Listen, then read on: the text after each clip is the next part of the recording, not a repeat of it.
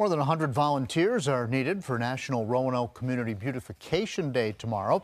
Every year, people get their hands dirty by gardening to help restore neighborhoods. Community leaders will also be honored with an award for fostering change. We put in some of the smart and the hard work, and that's truly what makes Roanoke great. The event will kick off at 9 tomorrow morning near Stanton, or Stanton Park. Excuse me, head to our website to find out how you can sign up to help.